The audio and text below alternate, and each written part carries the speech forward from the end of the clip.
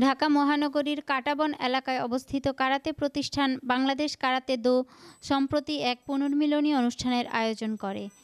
এতে এ প্রতিষ্ঠানের কিছু প্রাক্তন ছাত্রছাত্রী যোগদান করেন। অনুষ্ঠানের প্রধান আকর্ষণ ছিলেন এর জেনারেল সেক্রেটারি জনাব S M A Razzak Raju. প্রাক্তন ছাত্রছাত্রীদের মধ্যে উপস্থিত ছিলেন শরীফ, সুমন, শাহিদা, মাসুম এবং স্বামী প্রতিষ্ঠানের প্রধান প্রশিক্ষক আওলাদ হোসেন অনুশীলন পরিচালনা করেন। বাংলাদেশ কারাতে দো এর উপদেষ্টা জনাব মাইনুদ্দিন আহমেদ অনুষ্ঠান সঞ্চালনা করেন। আকর্ষণীয় ফাইট প্রদর্শনীর মাধ্যমে অনুষ্ঠান শেষ করা হয়। ফাইটে অংশগ্রহণ করেন প্রতিষ্ঠানের বর্তমান ছাত্রছাত্রীবৃন্দ। অনুষ্ঠানটি চ্যানেল টোয়েন্টি সিক্সের জন্য চিত্রগ্রহণ করেন মোহাম্মদ ইসমাইল হোসেন।